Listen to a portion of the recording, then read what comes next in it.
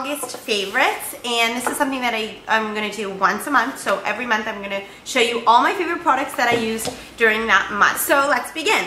I'm gonna begin with my um, touch up bag. Now this is a bag that not everybody needs to buy, obviously. Um, I use this for professional use. So this is like when I'm on set, you know, you do someone's makeup or you do the, the cast makeup or whatever it is.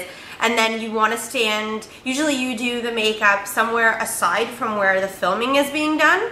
Um, so if you want to just have like those products with you just for touch up, so it's usually like powders, um, makeup remover in case something's smudged, um, a little bit more blush, um, just like brushes to touch things up. You always want to have something um, with you and you don't want to have to always keep going back to where your workstation was to be getting those products.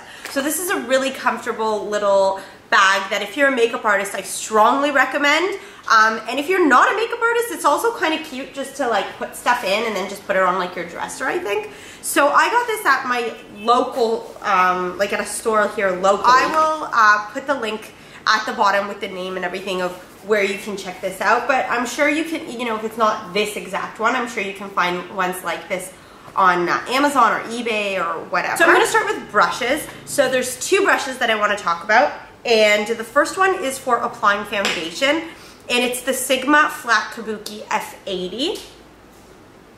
And that's what the brush looks like. So it's all synthetic hairs. And I just really like this to buff in my makeup. And I've been using this all month. Now I saw on, um, I've actually just ordered and it hasn't come in yet, so I can't talk about it yet, but I ordered two new brushes and they're the exact same thing. The only difference is that it's angled, so it's a flat kabuki angled brush, and it's called an F88. And I ordered also the P88, which is the same thing but smaller, just for like concealer and smaller areas. So I just feel like an angled one might work a little bit better under the eye and like around the sides of the nose, where this one is kind of, doesn't really get there very well. Um, so I'll let you know about that, but definitely I love this brush and I've been using this all month and I absolutely love it.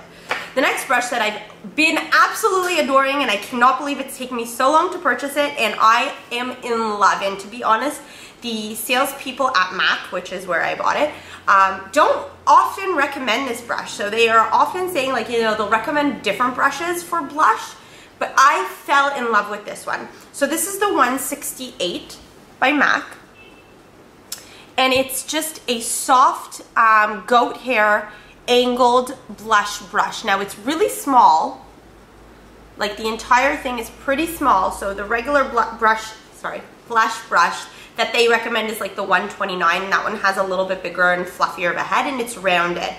I just never really loved that brush for blush, and I was always looking for a really good one. So I finally got the courage in buying this one because, you know, they don't really recommend it, and it is a little bit more pricey um, and I am in love with it. It applies it exactly where I need, just like on the apples of my cheeks, because I do contour on the sides. So I really only want the blush to just be like here on the apples and the soft, so soft goat hairs allow me to blend it out really beautifully and I absolutely adore this. So if I was working at MAC, I would recommend this one. I know most of them don't, but I don't know why. The next thing that I've been doing all throughout August, and I love this and it's working, is putting on castor oil.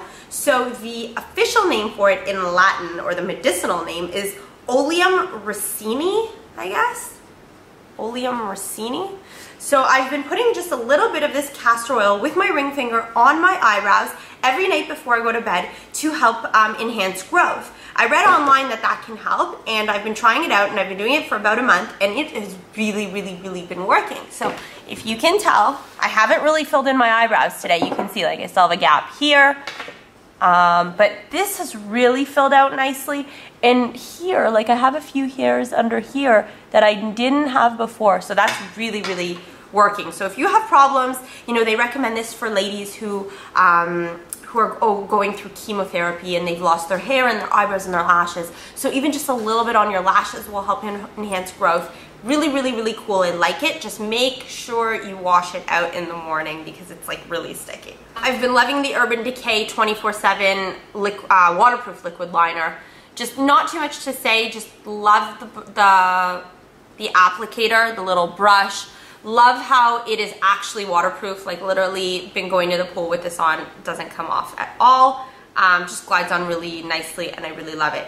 The next thing that is also waterproof that I've really, really, really been loving this month is the Superstay 24 color uh, lip gloss by Maybelline. So it's got the two sides. So the first side, oh, and I should tell you the color. oh, it's 150 Delicious Pink.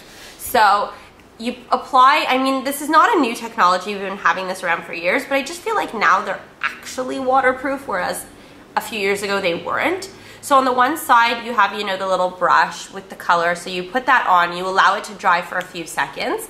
And then once it's dried, it is dry. It will not budge. You can try to smudge it with your fingers, that's it. It will not move. But it does look dry. So in order to make it look nice and glossy, you have on the other side like a little shiny gloss and then you just keep reapplying this throughout the day just to like keep it looking moist and, and hydrated.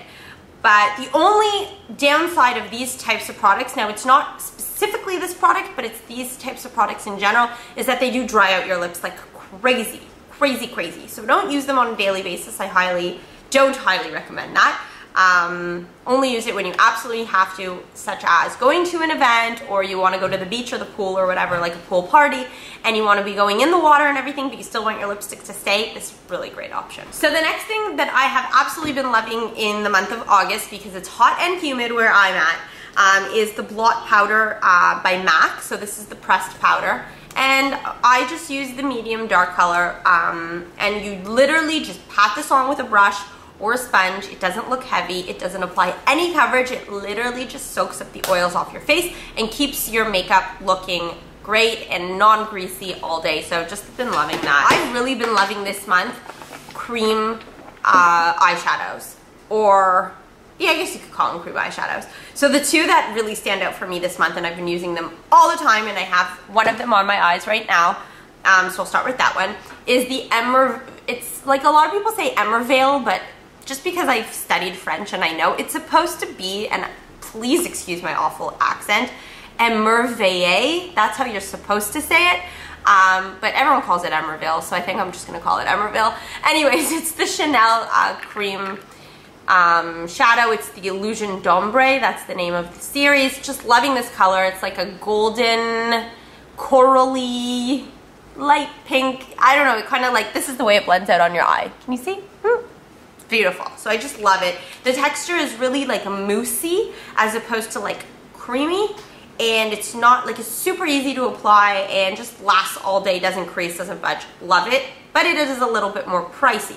So for a not as pricey option, um, I've been loving also the MAC paint pots. I don't know, this month I've just like not been using powdered eyeshadows almost. I've literally been using like all the time just like cream eyeshadows. So this is Indian wood, just like a nice goldy color, and I've been using this so, so much. The paint pots also will last all day, won't crease. They dry super quickly, so you have to be quick if you want to blend them. And yeah, they're just great. So they're, and they're a little bit more affordable than the Chanel ones. If you're looking for a completely affordable option, it's the Maybelline Color Tattoos that I've spoken about in the past, and they're great as well. So they're like the cheapest, and to be honest, they work you know, 90% as well as these, I would say. So the next thing that I've been like totally, totally into in the month of August, and I, God knows why, has been blushes. Oh, sorry, excuse my phone. Has been blushes. So I bought a blush palette from MAC. I've just been loving, loving brush, blushes in general, and the one that I super, like really, really want to point out is this one here that looks super, super red and scary and like awful and you can never use it. It's called Frankly Scarlet and it is amazing. It looks super strong and like scary and how can I put that on my cheeks without it being super red and stained and you just dab this once into the Frankly Scarlet and then tap off any excess or just even brush off any excess and then just apply to the apples of your cheeks and it looks beautiful. It looks like a really natural, healthy glow. It doesn't come off looking red at all. It actually comes out looking pink. So don't judge a book by its cover. As we always say, I'm loving this blush. The next thing that I've absolutely been loving for spot cleans in between deep cleans for my brushes is the MAC Brush Cleaner. Um, I've actually been, you know, I took a little bit out, put it in a smaller bottle and mixed it with a little bit of water. That way you get a little bit more bang for your buck and it'll go a longer way. And literally all I do is just dip after I use the brush, I just dip it in, make it wet, and then brush it off um, onto a little tissue and then it's within seconds it's perfectly clean and because it has some alcohol in this it dries really quickly and it's ready for use within 20 or 30 seconds to be used on someone else. So that's really great for me for in between cleans. Um, my favorite nail color this month has been the one that I have on right now and it's called East Hampton Cottage by Essie and it's just a really pearly uh, white and it just looks good on every everyone and with everything you're wearing so it's really good to have if you don't have the time to keep changing your nail color. Um, the next thing that I've been loving is this little palette that I made myself at MAC so it's just like the palette of fours and it's got my four I guess you could say like almost favorite colors or most used colors. So for my highlighting, it's got the Brule. They're all matte. So the Brule. For some definition, I use the Wedge. And then if I want to make my crease a little bit more dramatic, I'll use Brun. But then these two colors, Omega with a hint of Brun, are perfect for my eyebrows. So if I just want something in my bag or like after the gym, these four colors will do the trick for my entire makeup look. And I just love this. Been getting a lot of use out of that. Um, in terms of skincare, I've been loving the Sephora uh, toner. So it's called the Instant Refreshing Toner, the Perfect Finish.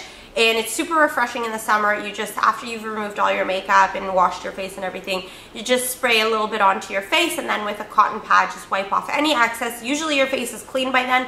It's a great way to check and it also just like really refreshes your skin. Um, I think we'll leave it at that for this month, even though I have way more products. So just to show you, like these have also been my favorites. And obviously the Urban Decay Naked Palette has been a favorite. And Mineralized Skin Finish by MAC. But I will probably leave that for next month and then maybe talk about them then because I am sure I will continue to be using them next month as well. So I hope you enjoyed this video and you can check out my blog for more reviews and information about all kinds of beauty products and we'll see you in the next video. Bye!